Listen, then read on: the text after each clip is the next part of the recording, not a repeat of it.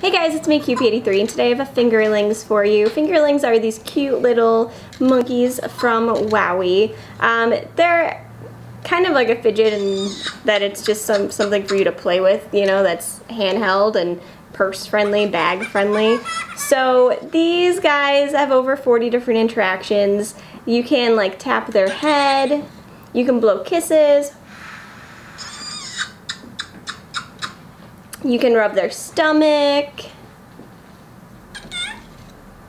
You can also hold them in various ways and attach them to different things. So online it shows them attached to forks and spoons, uh, straws. You can, like it knows if it's upside down.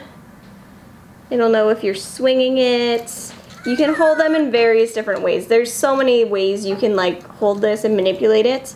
Um, it's nice because their limbs don't move and so they're pretty much stuck here. So as long as there's something there, you're good. Its head obviously turns and makes all these cute little sounds.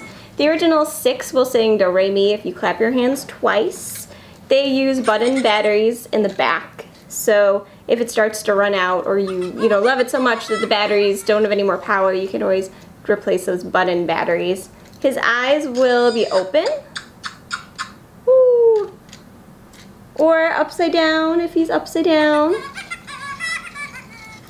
Um, so there's a lot of different things you can do with this guy. Um, he reacts to touch, motions, sounds. He's just a cool little thing to hold or play with if you're bored, you have nothing else to do, if you just want to fidget with something, which is why I think he's kind of like a fidget, uh, like a fidget spinner. But a more interactive, cute sort of thing that kind of follows that same line. So I found myself just like randomly holding him because it is, it's, he fits well in a child-size hand, which my hand is pretty much child size. Oh, that was a different sound. So um, he does fit well in your hand. He's comfortable in your hands. He has a cute little bit of hair here. Oh, what are you saying? And as I said, there are different places where you can touch or pet him, different motions that he'll, uh, different like motions that will make him do different things and of course he reacts to sound as well. There are different ways you can play with this. They sell them separately um, so you can get a different color monkey. This one by the way if I didn't say it is Mia. Um, but there are different colors and different characters you can collect. There's also play sets that you can collect to hang these guys off of which are super cute as well.